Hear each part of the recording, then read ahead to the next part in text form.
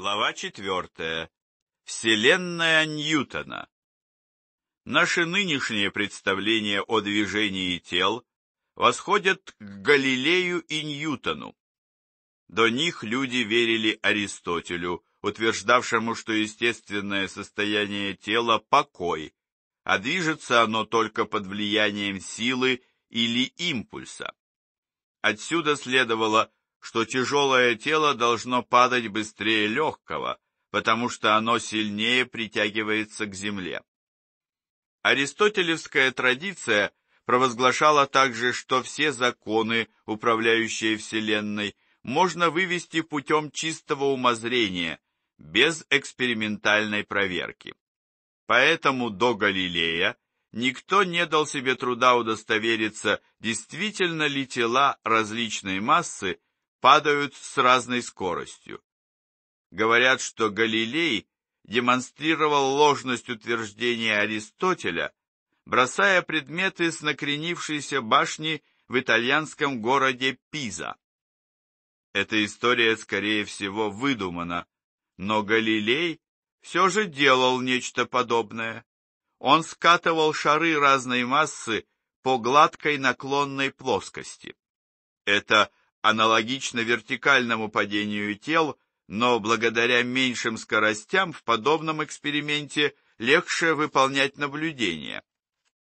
Измерения Галилея показали, что скорость движения тел возрастала одинаково независимо от их массы.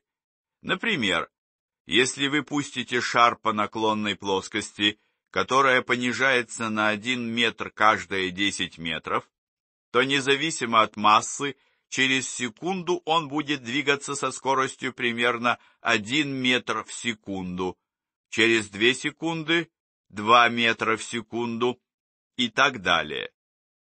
Конечно, тело из свинца падает быстрее перышка, но только потому, что падение пера замедляется сопротивлением воздуха.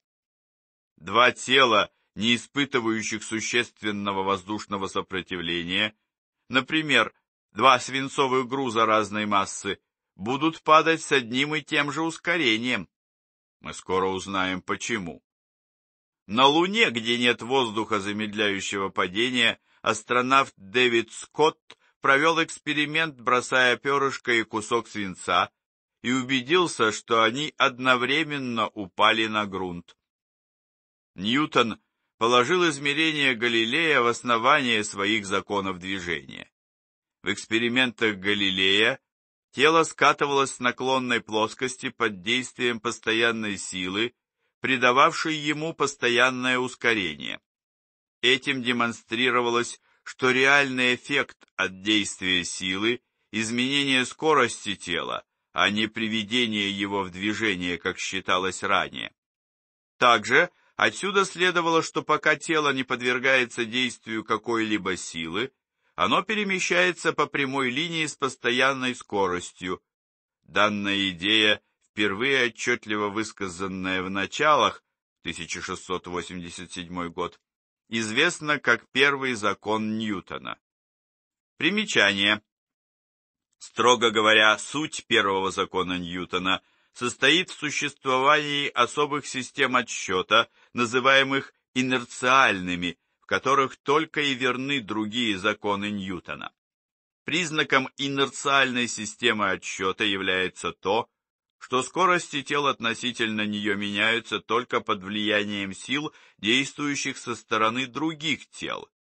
В неинерциальных системах отсчета, например, на вращающейся карусели или в ускоряющемся вагоне, скорости тел могут меняться и без физического воздействия. На это всегда обращают внимание при изучении законов Ньютона в физико-математических школах и в высших учебных заведениях.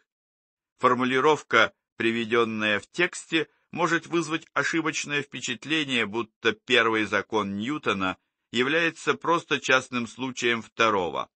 F равно МА. Конец примечания. Поведение тела под действием силы описывается вторым законом Ньютона.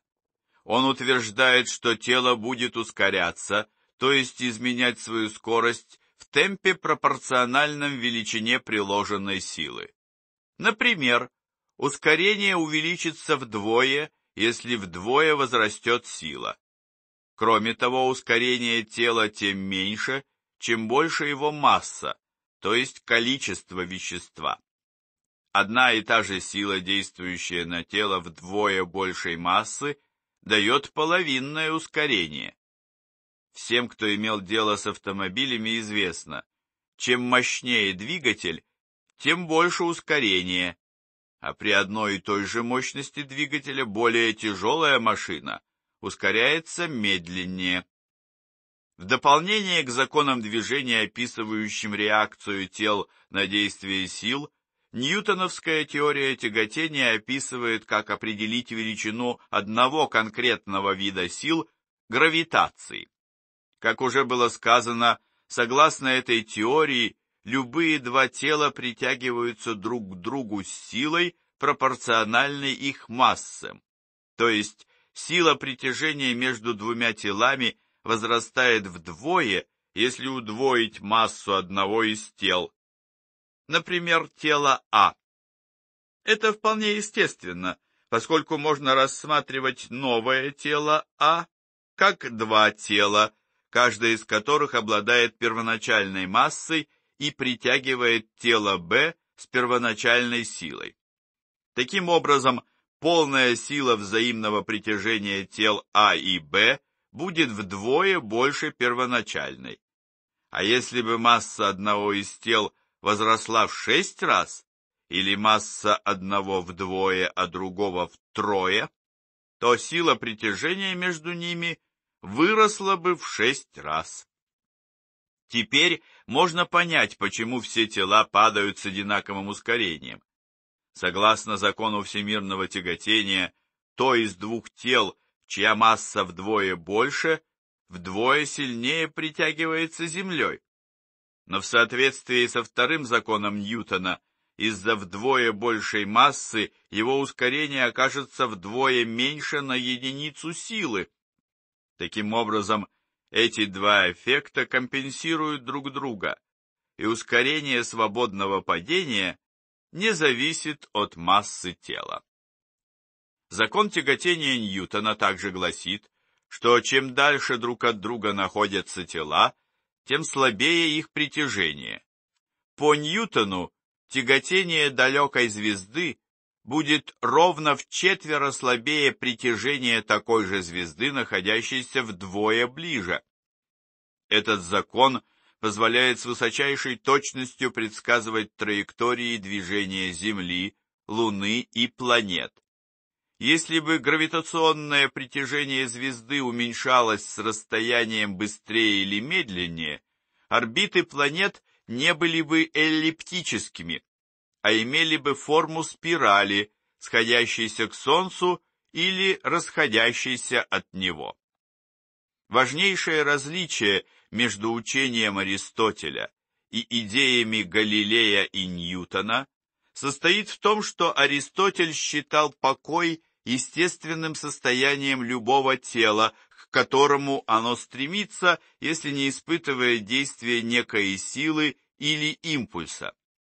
В частности, Аристотель полагал, что Земля пребывает в состоянии покоя, но из законов Ньютона следует, что нет никакого уникального стандарта покоя. Можно сказать, что тело А находится в состоянии покоя, а тело Б перемещается относительно него с постоянной скоростью, или что тело Б пребывает в покое, а тело А перемещается, и оба утверждения будут одинаково верны. Например, если забыть на мгновение, что Земля вращается вокруг своей оси и обращается вокруг Солнца, то в равной мере можно говорить, что Земля находится в состоянии покоя, а поезд движется по ней на север со скоростью 90 миль в час, или что поезд находится в состоянии покоя, а Земля движется на юг со скоростью 90 миль в час.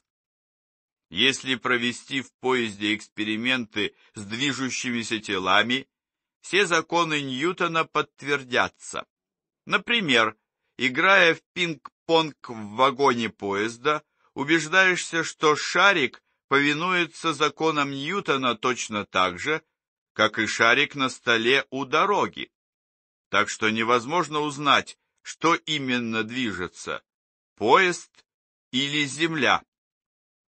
Как проверить?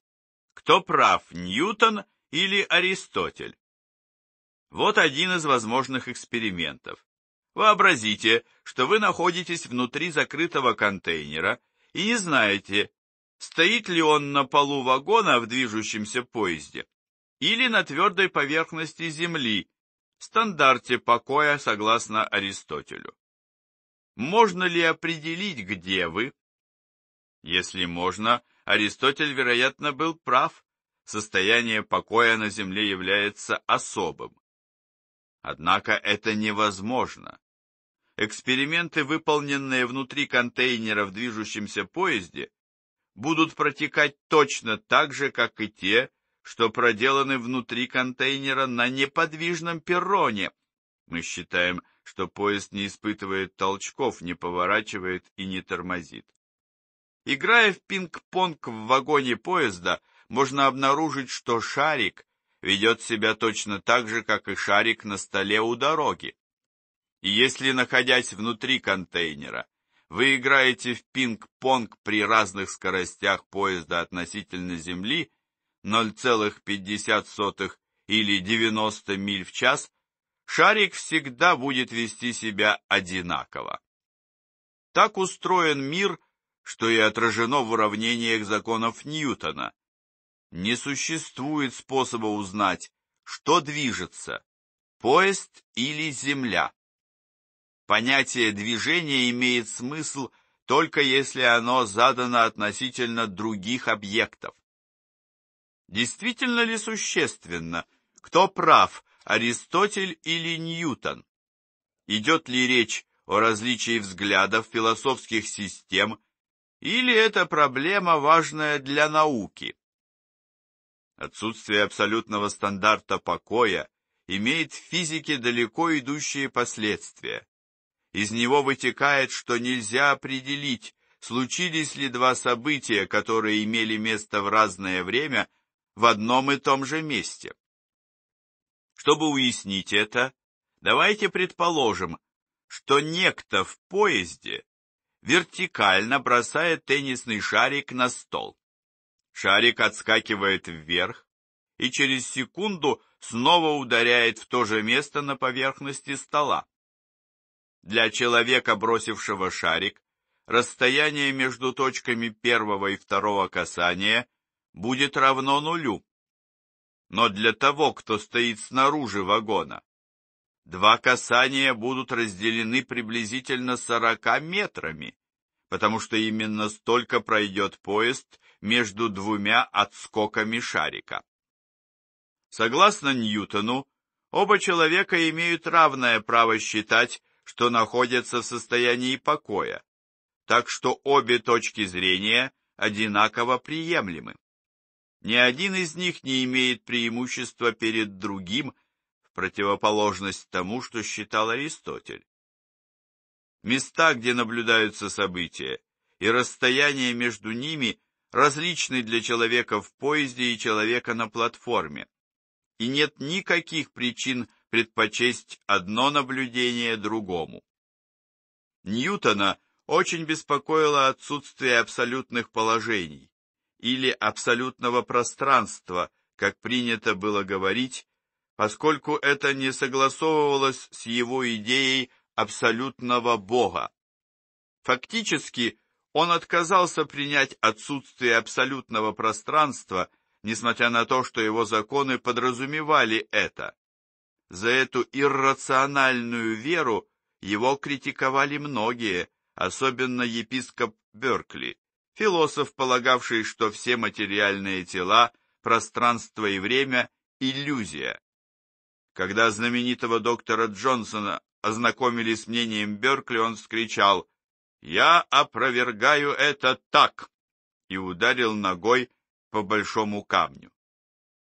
И Аристотель и Ньютон верили в абсолютное время, то есть полагали, что можно однозначно измерить интервал времени между двумя событиями, и полученное значение будет одним и тем же, кто бы его ни измерял, если использовать точные часы.